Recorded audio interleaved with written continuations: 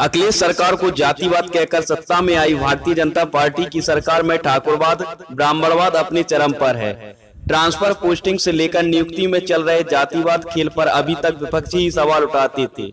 अब सरकार में शामिल कैबिनेट मंत्री ओम प्रकाश राजभर ने खुलकर अधिकारियों और योगी सरकार के जातिवादी चरित्र पर सवाल उठाए हैं। बहराइच से वरिष्ठ पत्रकार रामबरन चौधरी ने जो वीडियो नेशनल जनमत को भेजा है, उसमें आप एक पिछड़ी जाति के मंत्री का दर्द खुद अपने कानों से सुन लीजिए।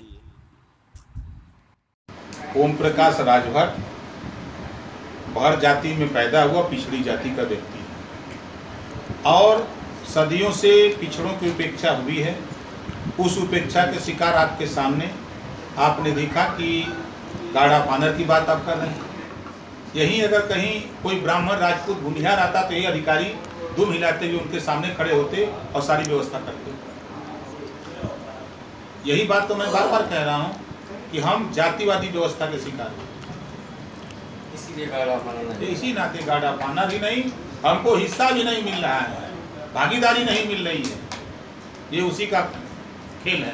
क्या बात ऊपर तक पहुँचाएँगे?